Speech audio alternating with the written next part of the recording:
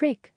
A painful muscular cramp or spasm of some part of the body, as of the neck or back, making it difficult to move the part affected. Compare catch.